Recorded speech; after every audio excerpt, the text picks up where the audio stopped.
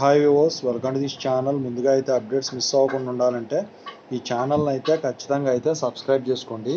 ఈ వీడియోని అయితే లైక్ చేసి షేర్ చేయండి. టెలిగ్రామ్ లింక్ వాట్సాప్ లింక్ రెండు డిస్క్రిప్షన్లో ఉన్నాయి. ఖచ్చితంగా అయితే జాయిన్ అవ్వండి. పీడిఎఫ్స్ మెటీరియల్స్ వాటి కోసం. ఎప్పుడైనా వీడియో పెట్టినప్పుడు అప్డేట్ మిస్ అవ్వకుండా ఉంటుంది. సో ఇందులో వచ్చేసరికి చాలామంది స్టూడెంట్స్ అడుగుతూ ఉన్నారు. JN H four two B Tech B Pharmacy results ఎప్పుడు?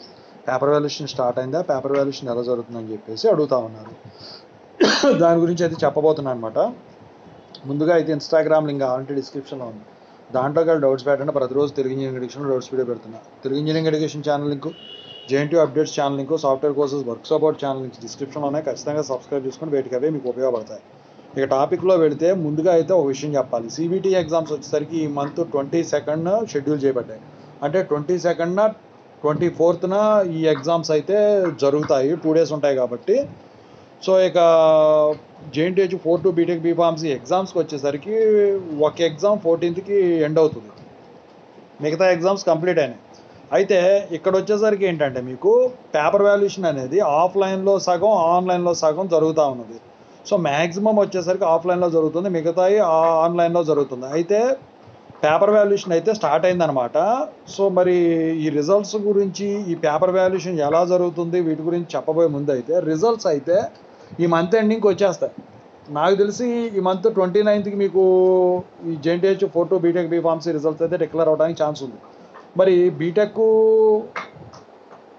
బీఫార్మసీ ఒకేసారి వదులుతారా? లేకపోతే రెండు రెండు సార్లు వదులుతారా అని మాత్రం చూడాల్సి ఉంది. పేపర్ వాల్యుయేషన్ అయిపోయిన తర్వాత కానీ మార్క్స్ ఎంటరింగ్ అయిపోయిన తర్వాత కానీ తెలియదు. ఇందులో ఆర్ ఎయిటీన్ రెగ్యులేషన్ వాళ్ళు ఆర్ సిక్స్టీన్ రెగ్యులేషన్ వాళ్ళు ఆర్ థర్టీన్ రెగ్యులేషన్ వాళ్ళు వీళ్ళందరూ ఉన్నారనమాట అయితే ఇక పేపర్ వాల్యూషన్ గురించి మాట్లాడుకుంటే నేను ఎప్పుడు చెప్పేది జేఎన్టీహెచ్ ఫోర్ టు బీటెక్ మాత్రం ఓ ఎలక్టివ్ సబ్జెక్ట్ ఒకటి మాత్రం ఖచ్చితంగా అయితే చాలా స్ట్రిక్ట్గా జరుగుతుందండి. దానికి కారణాలు ఏంటంటే నేను అంతకుముందే చెప్పాను. ఏంటంటే మీరు ప్రాజెక్ట్ వర్క్లో బిజీగా ఉండటం వల్ల ఆ సబ్జెక్ట్ కొత్తగా ఉండటం వల్ల ఆల్ ఇన్ వన్ అప్పుడు రాకపోవటం వల్ల లేకపోతే దానికి సంబంధించిన మెటీరియల్ మీకు దొరకకపోవడం వల్ల ఒక నెలలోనే కంప్లీట్ చేయాల్సిన పరిస్థితి ఉంటుంది. అది కూడా మీరు వన్ డే బ్యాటింగ్లు అలవాటై ఉంటారు కాబట్టి సో మీరు తిన్నగా పెర్ఫామ్ చేయరు. పెర్ఫామ్ చేసుంటే మాత్రం ఖచ్చితంగా అయితే పాస్ అయ్యేదానికి ఛాన్స్ ఉంటుంది. ఖచ్చితంగా అయితే ఒక సబ్జెక్ట్ మాత్రం ఓపెన్ ఎలక్టివ్ ఎలక్టివ్ సబ్జెక్ట్ మాత్రం ఖచ్చితంగా స్ట్రిక్ట్గా జరుగుతుందండి.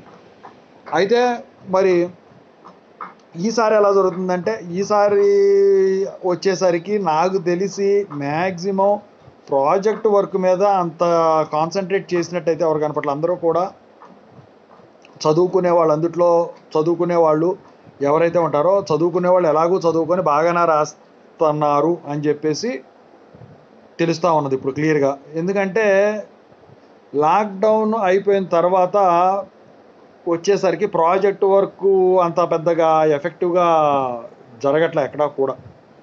అయితే ఇప్పుడు ప్రాజెక్ట్ వైవా వాయిస్లు అన్నీ కంప్లీట్ అయిపోయినాయి కాబట్టి మీకు ఇంకోటి రిలీఫ్ ఏంటంటే four two B Tech B Pharms prepare అవ్వడానికి వైవా వాయిస్లు అన్నీ ముందుగానే కండక్ట్ చేయడం జరిగింది. దానివల్ల మళ్ళీ దీనికోసం సెపరేట్గా మళ్ళీ తర్వాత ఇదంతా చేయాల్సిన పని ఉండదు కాబట్టి అంతా కూడా ప్రశాంతమైన మైండ్తో రాసి ఉండవచ్చు రాస్తా ఉండవచ్చు.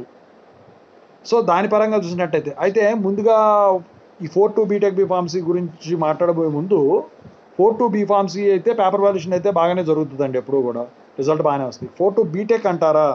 అది వచ్చేసరికి ఏంటంటే మీరు కీ పేపర్ మ్యాచ్ అయ్యేటట్లు కనుక రాసినట్టయితే మీకు పాస్ అవడమే కాదు మంచి పాయింట్స్ కూడా వస్తాయి. అయితే చాలామంది ఫిఫ్టీ నైన్ పర్సంటేజ్ దగ్గరకు వచ్చి ఆగిపోయిన వాళ్ళు ఉన్నారు. పాయింట్స్ పరంగా పక్కన పెడితే అవి కన్వర్ట్ చేస్తే సిజిపిఏనికి పర్సంటేజ్లోకి సో ఫిఫ్టీ నైన్ దాకా వచ్చి ఆగిపోయి ఉంటారు. అయితే ఈ ఫోర్ టూలో ఈ ప్రాజెక్ట్ వర్క్ ఏదైతే ఉందో దాని మార్క్స్ ఏవైతే ఉన్నాయో అవి ఇప్పుడు రెండు కూడా కాదు మూడు సబ్జెక్టులు మీకు. ఇదివరకు రెండే ఉండేవి ఫోర్ టూలో సో ఆ మూడు సబ్జెక్టులు పరంగా చూసుకుంటే మూడు వందలు. మార్కులు చూసుకుంటే పర్సంటేజ్ సిక్స్టీ పర్సంటేజ్ దాటేదానికైతే ఛాన్స్ కనిపిస్తుంది. నాకు తెలిసి ఫోర్ వన్ ఫోర్ టూ కలిపేసి మీకు త్రీ పర్సెంటేజ్ దాకా కలుస్తుందండి. మంచిగా మార్కులు తెచ్చుకుంటే.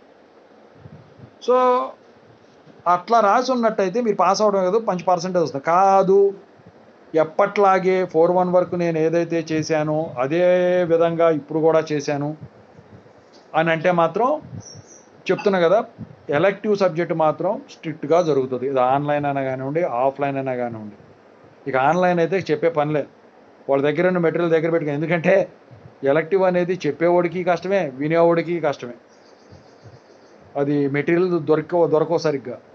సో అవి ఇక మెటీరియల్ దగ్గర పెట్టుకుని అవి ఉంటేనే వీళ్ళు చేస్తారు. లేకపోతే ఉండదు. మ్యాక్సిమం నాకు తెలిసి చెప్తాను. ఇదే జరుగుద్దని కాదు.